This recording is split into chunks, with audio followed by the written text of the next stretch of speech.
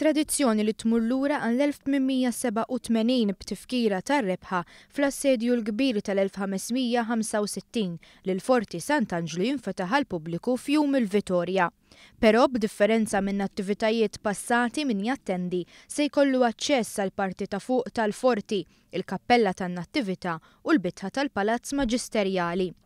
Fost l-attivitajiet li se jittellgħu hemm propju quddiesa fil-Kappella tan-Nattività, kappella li ilha mwaffqa minn żmien il-Konti Ruġġieru fl-1091 u li se terġa' tinfetaħ mill-ġdid wara bosta snin.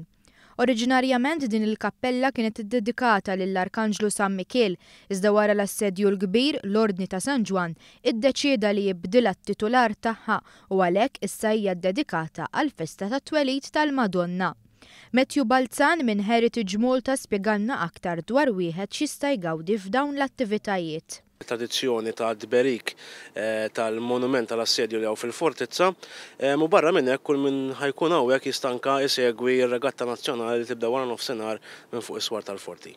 Il-forti se jinfetaħ bejn id-disgħa ta' filgħodu u s-sitta u nofs ta' filgħaxija bil-prezz tad-dħul ikun ta' żewġ ewro. Biex il-pubbliku jkun mgħarraf aktar dwar il-forti u l-użu tiegħu matul is-snin, Heritage Malta se torganizza żjarat bi gwida fil-ħdax ta' filgħodu u fit-tlieta ta' waranofsinhar bil-Malti kif ukoll bl-Ingliż. Spjega oħra dwar l-użu ta' dan il-forti se ssir permezz ta' rappreżentazzjonijiet minn gruppi ta' re-enactment. Barra minn dan, benefiċċju kbir li joffri l-forti, dovut ukoll għall-pożizzjoni strateġika tiegħu fil-ponta tal-Birgu, huma l-veduti mill-isbaħ tal-Port il-Kbir.